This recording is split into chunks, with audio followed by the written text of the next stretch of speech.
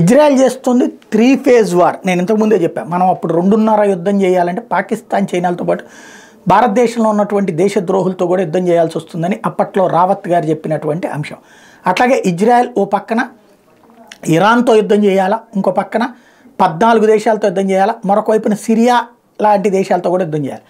తాజాగా సిరియా నుండి ఆయుధాలని జాగ్రత్తగా చేరుస్తా సిరియా నుండి అంటే హమాస్ తీవ్రవాద నాయకులు హెజ్బుల్లా తీవ్రవాద నాయకులు హౌతీ తీవ్రవాద నాయకులు తీవ్రవాదుల చేత అక్కడ కార్యకలాపాలు చేస్తూ నాయకులు వెళ్ళి సిరియాలో ఉంటుంటారు.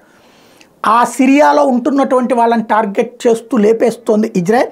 తాజాగా చూస్తే Israeli war planes reportedly bombed Hezbollah targets near the Lebanon Syria border UK based Syrian observatory for human rights claimed two Hezbollah militants were killed A truck carrying Hezbollah militants was targeted in an alleged Israeli airstrike near the Syrian town of Kusyar, according to Arab media.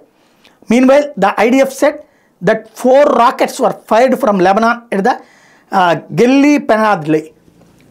Uh, Hezbollah వాళ్ళు తమ మీద దాడి చేస్తే తాము retaliation attacks యుద్ధ విమానాలతో ఇచ్చామని చెప్తున్నది Israel కానీ ఖచ్చితమైనటువంటి లక్ష్యంతో సిరియా లోపల ప్రయాణిస్తున్నటువంటి ట్రక్ మీద దాడి చేసిందంటే అందులో ఎవడో ప్రముఖులు ఉండి ఉండాలి?